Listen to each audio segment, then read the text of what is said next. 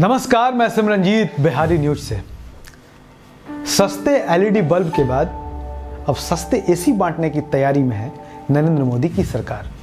जी हाँ सही सुन रहे हैं आप। मीडिया रिपोर्ट्स के अनुसार 2019 के लोकसभा चुनाव में प्रचंड जीत के बाद नरेंद्र मोदी सरकार भारत की जनता को सस्ते दर पर एसी बांटने की तैयारी कर रही है।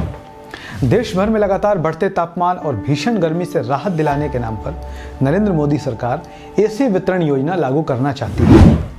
मोदी सरकार और बीजेपी के सलाहकारों का ऐसा मानना है कि देश में मध्यम वर्ग लगातार बढ़ता जा रहा है। एसी जैसी सुख सुविधाओं के साधन की ओर उनका आकर्षण है।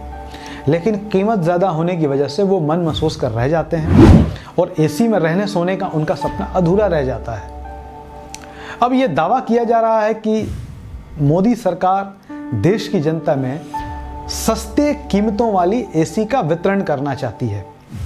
सरकार द्वारा बांटी जाने वाली इस एसी की कीमत बाज़ार में मिलने वाली एसी की तुलना में 20 से 25 प्रतिशत तक कम होगी। कई मीडिया रिपोर्ट्स यह भी दावा कर रहे हैं कि मोदी सरकार की ओर से बांटी जाने वाले इस एसी की कीमत अन्य एसी की तुलना में 30 प्रतिशत तक कम हो सकती है। इस एसी की खासियत बताई जा रही है कि इसमें बिजली की खपत भी आम एसी का मुकाबले 35 से 40 प्रतिशत तक कम होगी। अगर आप चाहेंगे तो इस एसी को ऑनलाइन भी खरीद सकते हैं।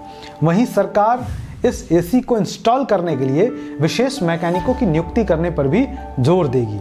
जो 24 घंटे के भीतर उपभोक्ता के घर, दुकान या ऑफ़िस में इसे इंस्टॉल कर सकेंगे और खराब होने की स्थिति में एक कॉल पर मरम्मत के लिए तीन घंटे के अंदर पहुँच भी जाएँगे।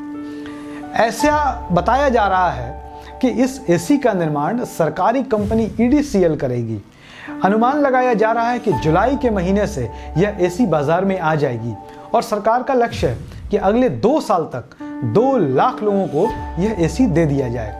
सरकारी सूत्रों की माने तो इस एसी पर एक साल की गारंटी होगी, जबकि इसके कंप्रेशर पर पाँच साल की गारंटी दी जाएगी। धन्यवाद।